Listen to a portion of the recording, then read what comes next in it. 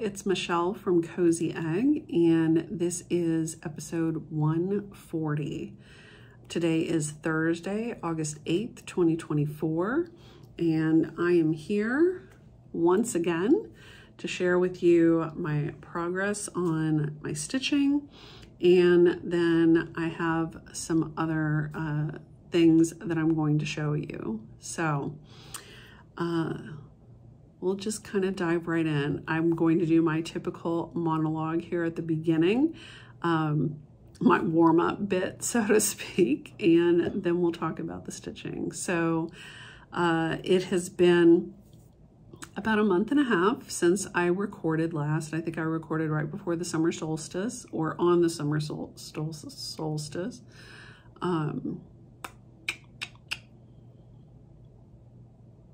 might have been the day before. Anyway, doesn't matter, but it's been about a month and a half and there has been a lot going on. So uh, I think the last time I uh, recorded, I talked a little bit about Ramses and his diabetes and um, he was just newly diagnosed. So we have been working to get his um, insulin levels, you know, adjusted. And one of the things that we did uh, to that end was the vet um, actually used a Freestyle Libre sensor on him, um, which they attached. And then we were able to get uh, readings throughout the day and night uh, for two weeks uh, so that she could easily see what his glucose levels look like and she could make um, adjustments based on that um, for his insulin dosage. So we think we're at a good dosage now and um, we'll just continue with that for the time being. But he did have to wear a t-shirt which he was not super thrilled with. Um, so he did have to wear a t-shirt for the two weeks that he had the sensor on, just so that he didn't knock it off or mess with it. Uh, so you probably saw in some of my video um, vlog footage that he had his little t-shirt on. That's why. So, but he seems to be doing pretty well. Um, we are trying to also give Tut lots of attention because he is uh, feeling a little left out, I think, because Ramses has been getting so much attention. So we're trying to give Ted a little extra attention. Um, so that has been going on. Uh, the other big thing is that I am changing jobs. I am leaving the job that I have been in for 14 years and moving to a new position with a new company, which is exciting and nerve-wracking and scary at the same time. And, you know, I am sad to be leaving some place that I've been for so long, but I think it was a necessary a necessary move. So I, uh, I'm, I, I actually took vacation this week. I had planned to take vacation the week of my birthday, but that week is actually going to be my first week at the new job. So I actually took vacation this week so that I could try to get a few things done, maybe relax a little bit, and, you know, all that good stuff. So, yeah, next week is going to be probably a little crazy, but because it'll be my last week, but there you go. So uh, those are kind of the big things that have been going on or are continuing to go on. So there you have it. Um, other than that, uh, I do want to say just kind of right at the front that uh, we, I had the first discussion for the book club. Uh, we had that at the end of July and we discussed uh, Leigh Bardugo's The Familiar, which I think we had an excellent discussion. I loved the book. Others did not. And so it was, it, that made for some really good conversation, which is exactly what book club is about. So um, I was happy to do that, happy for the folks that joined, and um, really looking forward to the next one. So I am uploading a separate video again to talk a little bit about uh, the book for next time. But just um, quickly, I want to say at the beginning, in case you don't stay all the way to the end, um, that the next book is A Fate Inked in Blood by Danielle Jensen. And this is a fantasy book uh, that has uh, kind of a background in Norse mythology. So I'm very excited about that and looking forward to it. And the next book club discussion is September 26th. So if you are interested in being part of that Zoom uh, discussion, please do go into the site and RSVP. You can go to the events tab, RSVP for um, for that. And I look forward to seeing you there. So, very exciting. Very exciting. All right. Let's get into it. So, I don't have any finishes to show you, which should come as absolutely no surprise, but I did FFO something. So um, I posted this on my Instagram, but I of course wanted to show it to you here. I framed my starry moth. And so this is a design by the Blue Flower that was in Just Cross Stitch, I think. And um, it is a quote from Percy Shelley. And I absolutely Love it. I loved stitching it. I stitched it on 40 count kunzite, um, fiber on a whim, I think. Don't quote me on that.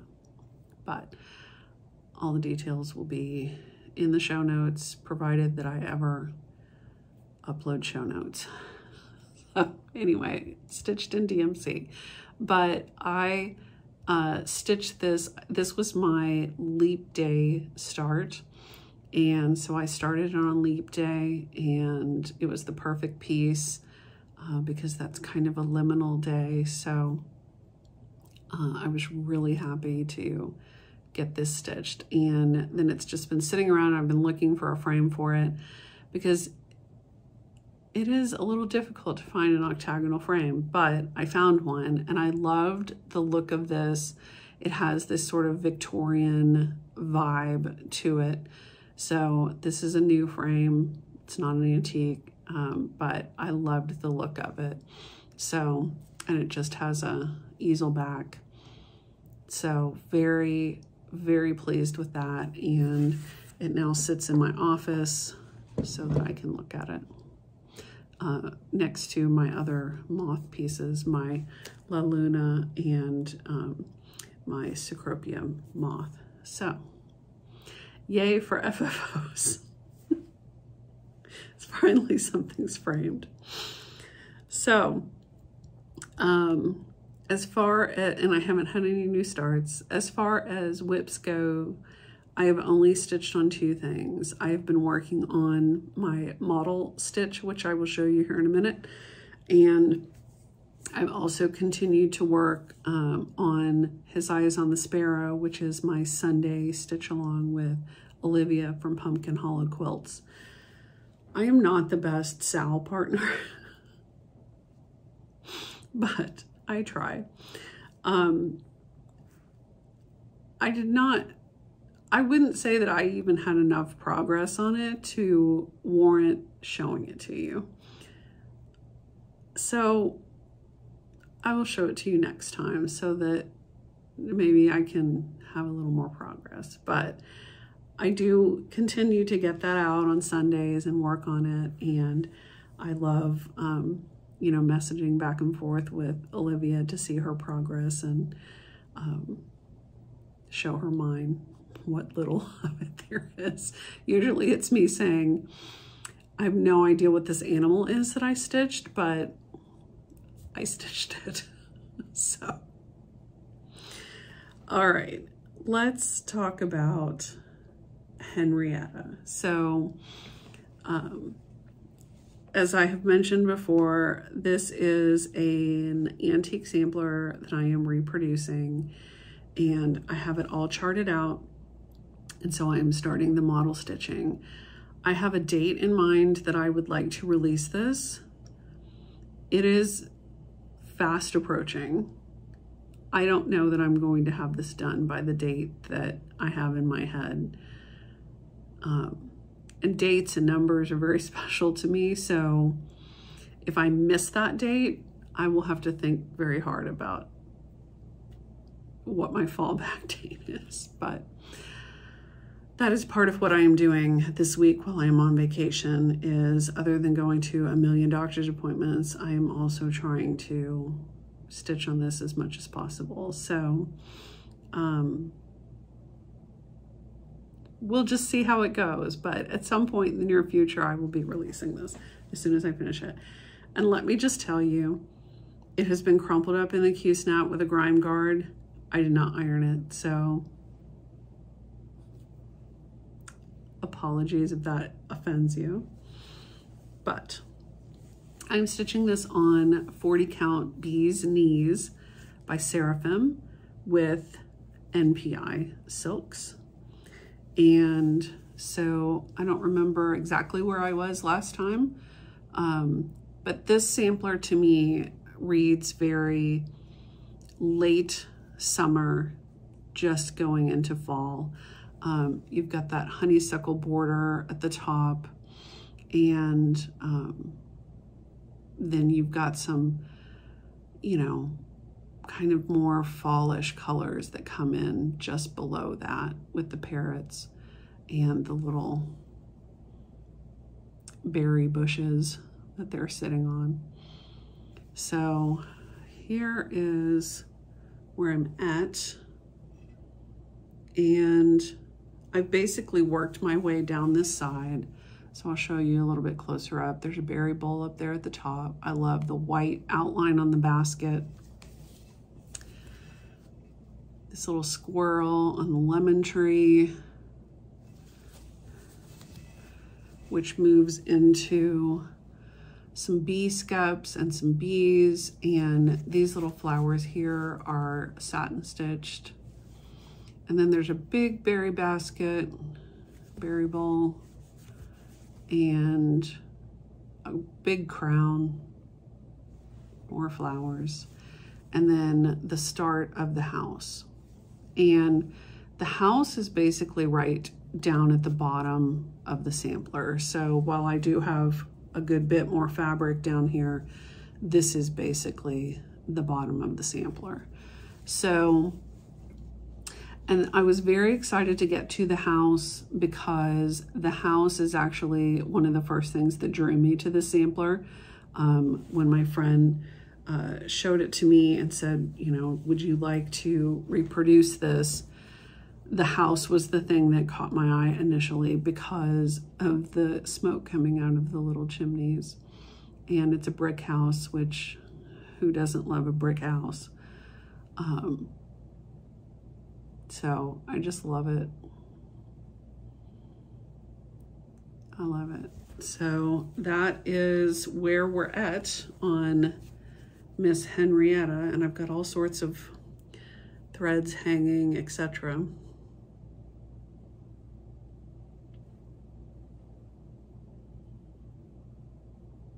So very excited uh, to get this one stitched. I'm enjoying every second of stitching it, honestly. Um, even though I'm, I've kind of put myself under a time crunch, I'm still, I love stitching on this. It's, the colors are just beautiful and um, Henrietta just added some really fun motifs. So, and it just seems, you know, because we're starting to move into the late summer, it just seems really appropriate, so, and timely. so that is, that's it. That's all I've been working on. So we're 15 minutes in and I've showed you everything I have to show you. No. Um, so my friend Yvette has been bugging me nicely to share my uh, finishes that are not framed. And I told her, you know, I did a floss tube on that like January of 2023, I think. And she's like, no, you need to do a video. So I brought those to show you. And um, it's basically like the project roll of shame is where we're at. So I will walk through those and um, show you what I have in here. And this may be a little unwieldy, so let's see what I can do as far as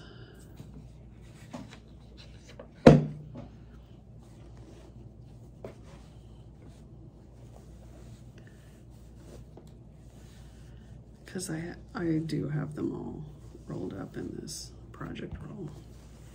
So let's see if maybe I can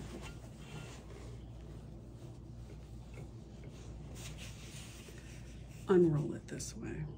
All right. So these are probably, but maybe not in reverse order of when I finish them. So most recent going further back, but that may not be the case. I'm just saying that based on what's on top. So the first piece that I have, and my intention is to at some point get these all framed.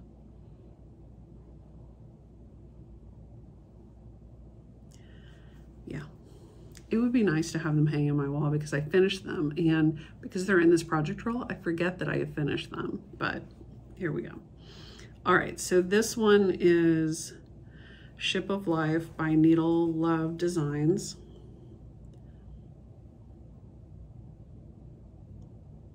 And I stitched this last summer. I borrowed the chart. It's an old out of print um, chart. I stitched it on flannel flower by Fox and Rabbit with the called for DMC. And I just love this piece so much.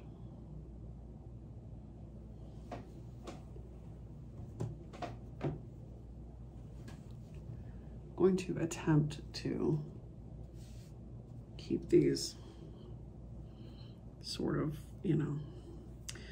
All right, this is Primitive Needle Moon Sick and this is on Fox and Rabbit.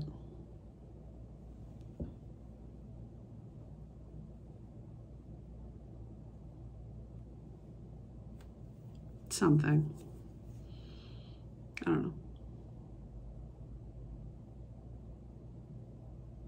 But I stitched this as part of the full moon sal um, that several people were doing and they were specifically stitching this piece, but they have stitched other moon related pieces on the full moon.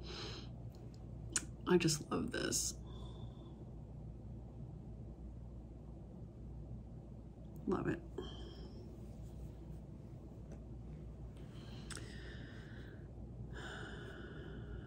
Okay, uh, this is ink circles, I think uh, Athena Noctua. I love this piece so much and I have been on the hunt for a frame for this to go in. I was actually looking for a frame for this when I found the one for the out the moth. Um, I love this so much and I really want this hanging on my wall. But Square frames are hard to find. Case in point, here is Primitive Needle Salem Village. I think this is on 40 count dapple. And I made some adjustments to the colors. But the the thread that I used to stitch the word Salem Village, I think was called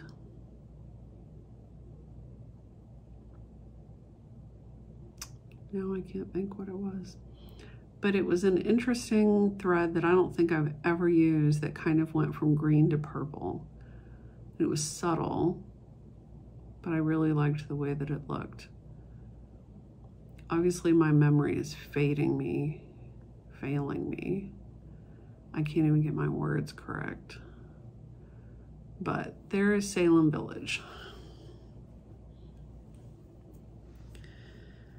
Um, this is Colonial Garden by Plum Street Samplers, stitched on 40 count black something.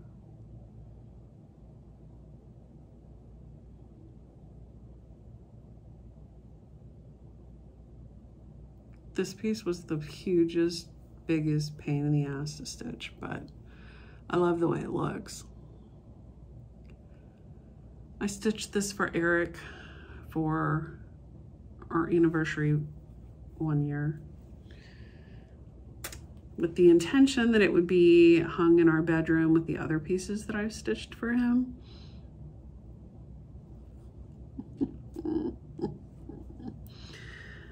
like I said, it's the project roll of shame. This was a stitch along that I did with Emily C. and Diana It is Kismet Stitches and Michelle Bendy a few years ago. I love it.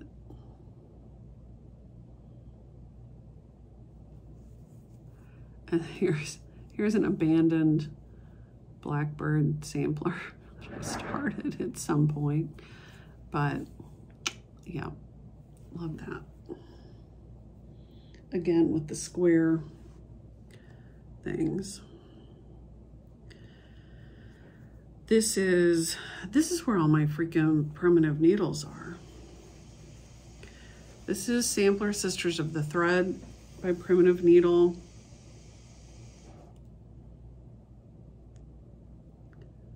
I need to go in and put some more uh, initials in there. My originally original intention for this piece was, this piece was designed for, uh, Lisa designed it for uh, our group of friends and my intention was to have each one of them stitch their initials on it and send it around. I stitched the L in the center for um, Lisa and then my intention was to send this around to each of them to have them stitch their initial on it, but I decided that was probably just asking for trouble mailing this through the mail system that many times. So I just need to go in and put the other initials on there. And I'd really love to frame this because I really love it. So Uh, this is Mary Snow by Hands Across the Sea. And this was, I think it was a Christmas Eve start, December 15th, so I don't know, um, with Christy from Crosshatch Quilts. And I love this. I fell in love with it the second that I saw it and had to stitch it. I loved the the red and green, so it felt very Christmassy, but then also I love this sort of ice blue um, in there, and of course the swans. And her name is in four-sided stitch. So not a big sampler. I really enjoyed stitching that. And then I have some little ones. This is an old Blackburn Designs. I think it's called Winter Delivery maybe, and it has beads on it. You can see I did this in 2018. It is still here, not framed.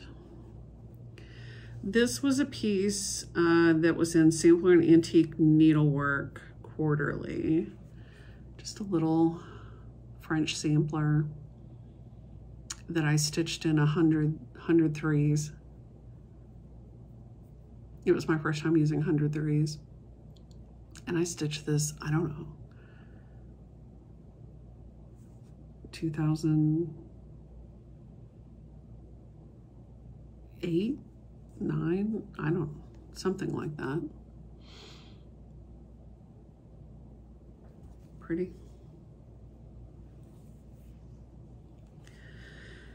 Another primitive needle. Here is my blackened sky.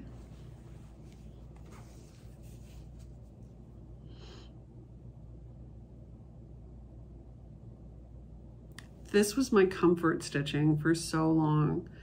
Like every time I was just in need of something that would cheer me up and make me calm, this was the piece that I went to.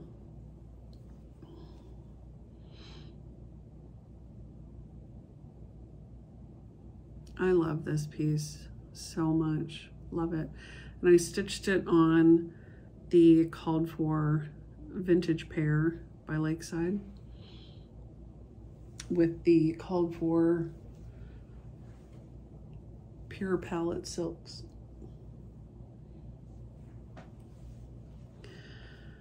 Okay, here was another sal that I did with Emily and Diana and Michelle Bendy. This was a, this was in one of the Blackbird Designs books. I think this is called like Partridge or something. He needs to be framed for fall.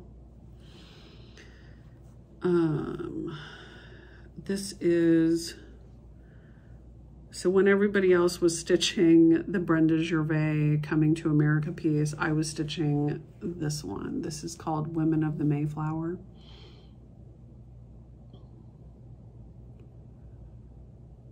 And it's by Old Willow Stitchery. And it was originally charted in Old Willow Stitchery threads, which are no longer in existence. So I did my own color conversion and just picked my own colors. And I love how it turned out.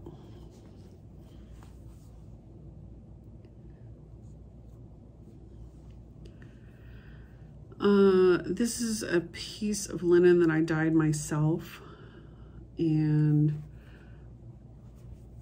this is Plum Street Samplers Hello Eden. I love that. I love it so much. Especially that snake.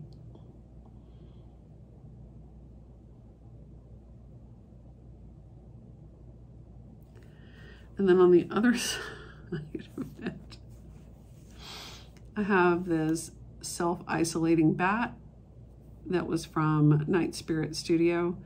Um, this was one of the Be Well and Stitch freebies uh, that came out at the beginning of COVID. And Emily C. and I both stitched this. And then this was one from Lucy Beam.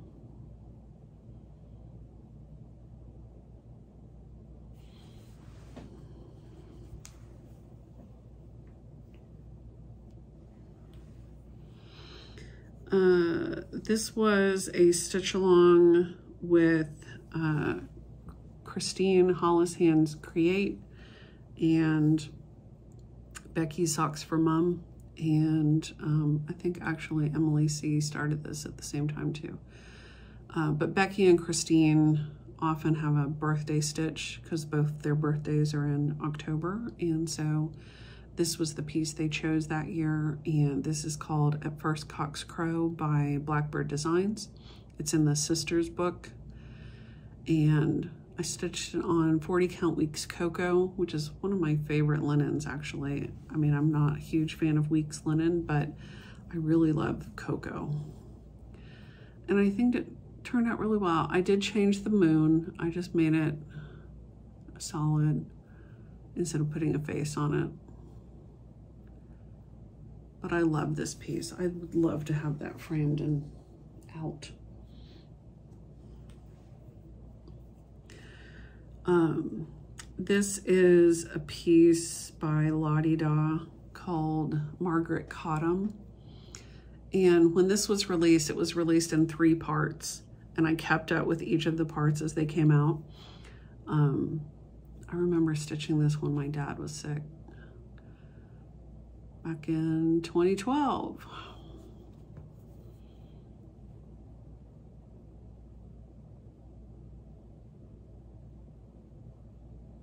I love this one.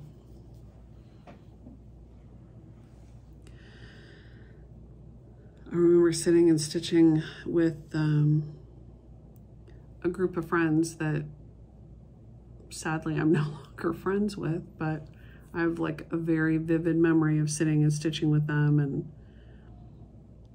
getting a call from my mom who was at the hospital with my dad. It's funny how this how pieces bring that up. I don't know for sure if I'm going to frame this one. I don't know for sure what I'm going to do with it, but I love The Wizard of Oz, so I just had to stitch it. And this was by, hang on, I've got a cat who wants to come sit on this stuff. Um, Midsummer Night Designs, I think, called Primitive Wizard of Oz. It's a fun little piece to stitch. And like I said, I don't know if I'm going to frame it or not, but it's in here. Um, no, mm -mm, you cannot come over here. This is a little piece um, that was designed by uh, one of the people in that group of friends that I'm no longer friends with. Uh, and I really love this piece. So, yeah. I love the colors in it.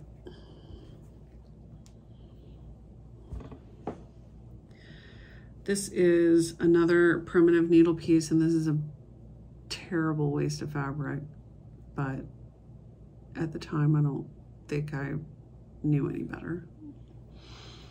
This is Earth Sampler um, by Primitive Needle. This is like one of the first pieces I ever stitched on 40 count. And I think this is on I'm pretty sure this is picture this plus ale, although this is not what ale looks like anymore, but it's a sweet little piece. Another one that is square, but that I would like to have framed. Okay, then I've got a couple bigger pieces here. This is the Crowned Bird Sampler by Plum Street. And this was designed for my guild um, a million years ago.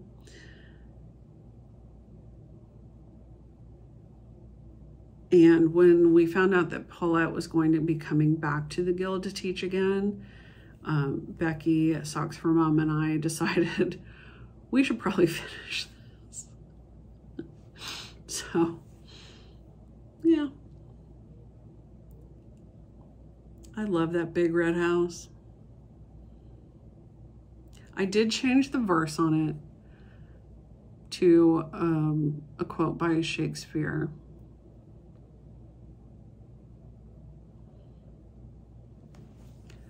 And here's the rest of the quote.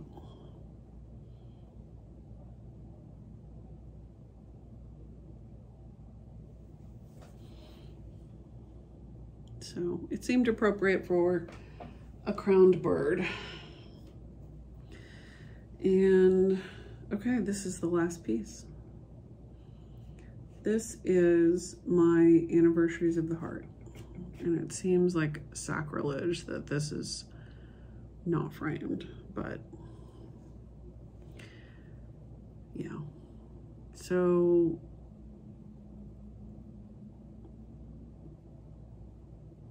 I don't remember when I finished this. I do remember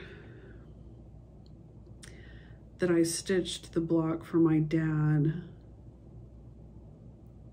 while he was sick, but then I think I put it away for a long while. And this, it's kind of a bittersweet piece to me, and so that may be part of why I have not framed it. It's probably part of why I haven't framed some of these other things, but yeah. So there's my anniversaries of the heart.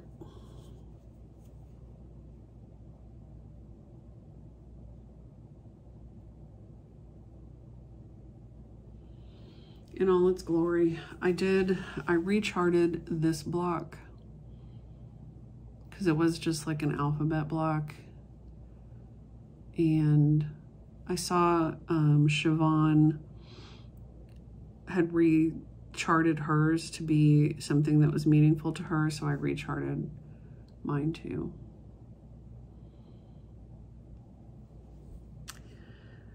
So, yeah.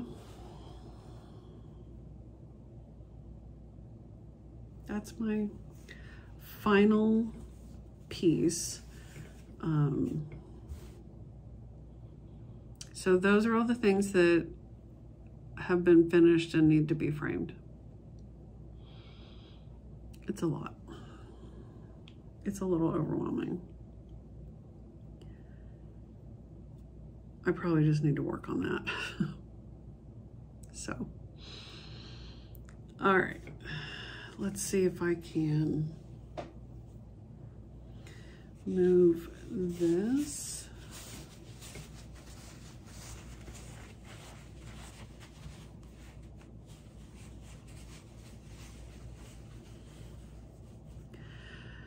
Okay, so there you go, Yvette. There's all my pieces. And if anyone wants to start a GoFundMe to um, pay for some framing, by all means. Okay. Um, as far as plans go, like I said, I'm pretty much just going to be working on Henrietta for the foreseeable future and hopefully getting that finished and released. And um, I will talk about books briefly. So, okay, I'm back. So, uh, the last time I saw you, I was still in the midst of reading the Zodiac Academy series. I finished the last two books in that series. That was a lot. Um, and I will be honest with you, overall, I enjoyed the series. Uh, there was a lot that I really enjoyed about it. The last few books just burned me out like crazy. And I just sort of got to the point where I was like, I just need this to be done. I'm ready for it to be finished. Um, so it took me a really long time to read the last book, and the last book was like a thousand pages or something, which I've read a thousand pages in, you know, a few days before, no biggie. But yeah, this, it took me a while. So uh, my friends that I'm doing the buddy read with of the Zodiac series, we actually were going to go right into the next series um, that's like a, a spinoff, but decided we're just gonna, we're gonna take a little break for now. Excuse me, for now. So we're gonna take a break um, and come back to it.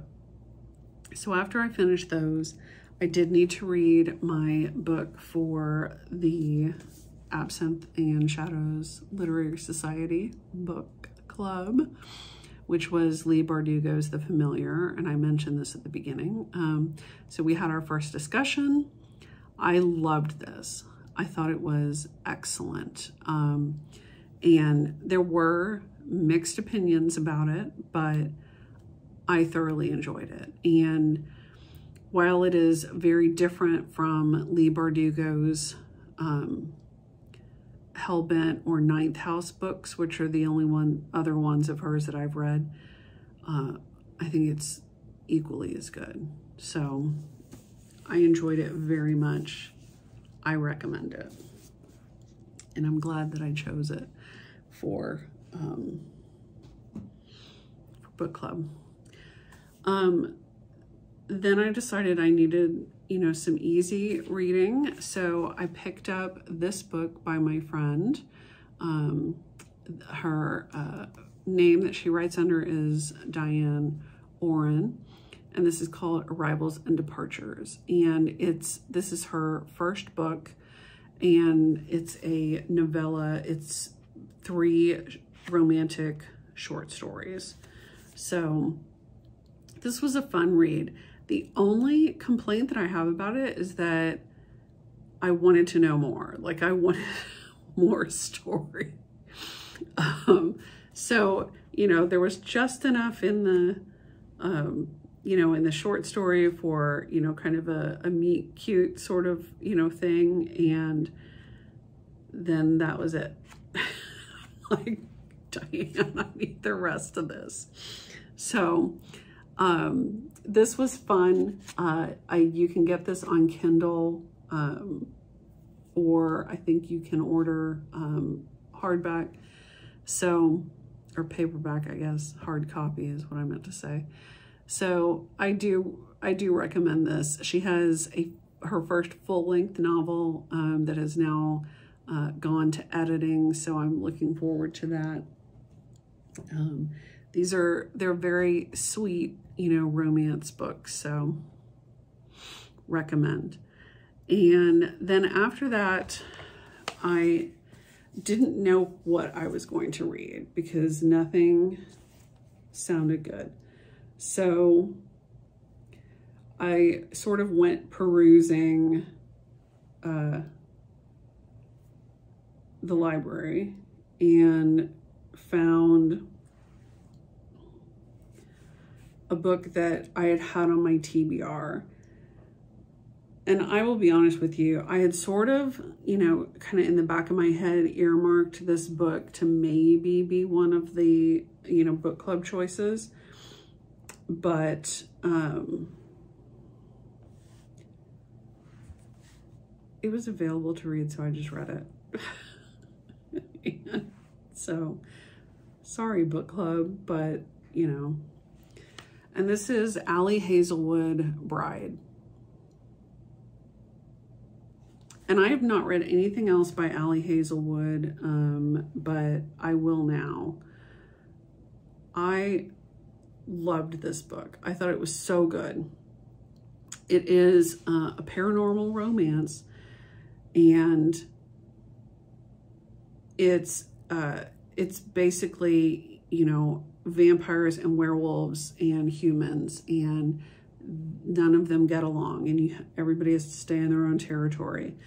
Um, but the main character, Misery, is a vampire and she is basically um, set to marry uh, the alpha werewolf as sort of a peace treaty kind of situation. And it was really good. I zipped through it like nobody's business, which I kind of thought like my reading was broken after the whole Zodiac Academy situation, but I zipped through this so fast and it was so good. I really, really enjoyed it. Um, it's definitely spicy, but vampires, werewolves, love it.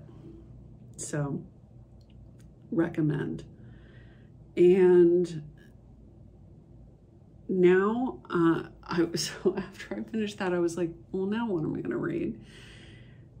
And then I looked at my calendar and realized that my book club, uh, the SGR, Sampler Guild of the Rockies book club, is in two weeks. So I was like, I should probably read that. So I picked up that book to read, and we are reading Jennifer Chiaverini's um, The Museum of Lost Quilts. And I have read several of these Elm Creek Quilts books a million years ago. And so this is a new one for me, but you know, I, am enjoying it. Um, it's not quite as compelling as the vampire werewolf story, but it's good. So I'm currently reading that. And I have decided also that I need a stack of yellow and white quilts like immediately because reasons. So yeah, this book is actually making me want to quilt a lot. So maybe one of these days when I have time, I can do that. So I've started to read that and um, hopefully I can get that finished before book club. And then speaking of book club, I mentioned this at the beginning, but I will just mention it again because this is probably what I'll, you know, read in the very near future. A Fate Inked in Blood by Danielle Jensen. Um, and this is the next pick for my book club, which we will have the discussion in September, at the end of September. So there's plenty of time to read it. But look at those pages. Look how pretty that is. Mm, love it. So that is what is on the reading agenda. And I did want to tell you about what I've been watching. So um, I've been trying desperately to catch up on stuff that I have DVR'd that has been on the DVR for, we won't talk about how long um, because Eric reminds me of it every time he turns on the TV, but whatever. So um, I recently, and this has been perfect, like while I've been trying to work on this model, I've been trying to also get through shows.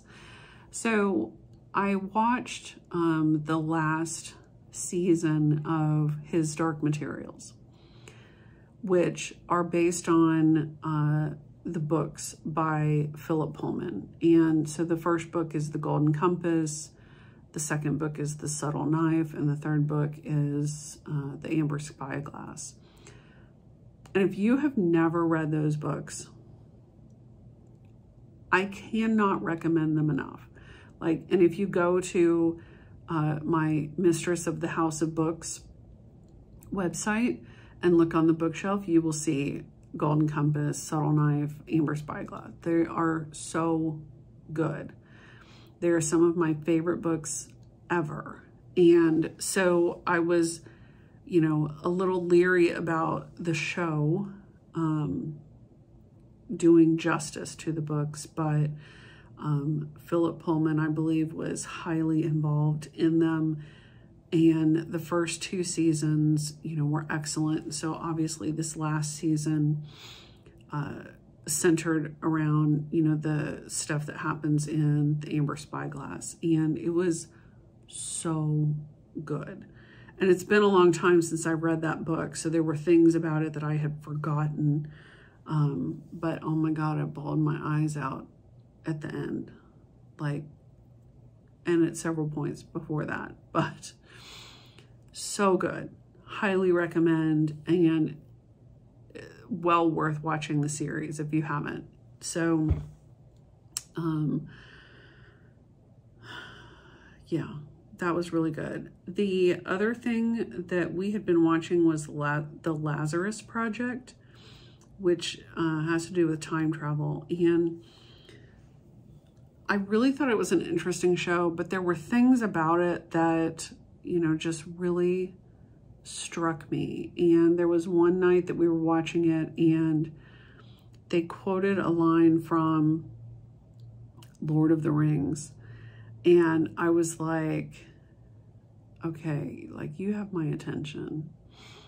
Um, because it was just, it was almost like it was just in passing um, that only if you're familiar with Lord of the Rings would you have picked it up. But uh, it's a really interesting show. So if you're looking for something to watch, I recommend that one.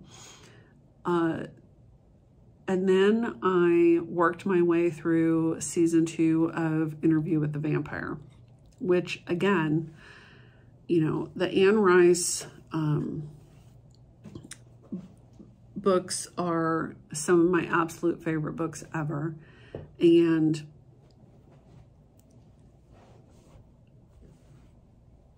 we won't talk about Tom Cruise as Lestat. We just won't. But um, I was, again, worried about how these the show was going to do justice to the books. And again, I was so pleasantly surprised. And the first season was really good. This season, I think, was like even, you know, a level up from that.